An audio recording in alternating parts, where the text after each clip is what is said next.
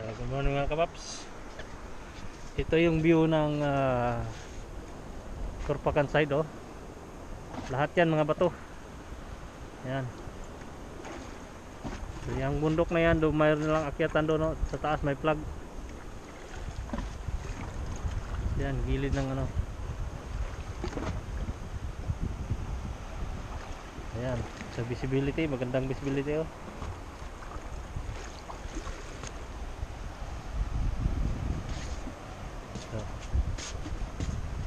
Yung mga divers ko doon na.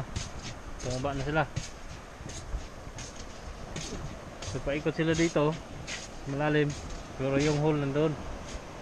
Tapos yung second dive namin doon sa malapit lang oh. Shark Island. Yung bato na yan. Ayan. So ayan, mainit na. Panahon ngayon. Oh. Daming pawis. Tagaktak ng pawis. Eh, Bay William. Harang initam dari Bay William oy.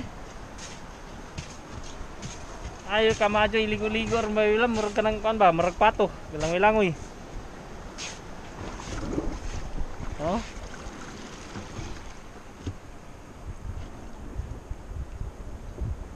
Nasa likod anak port sa Korpakan. Likod ng ano, likod ng bato. Ayan.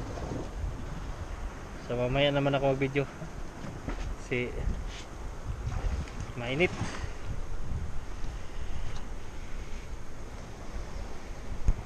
Yung tawag yung vlog ko.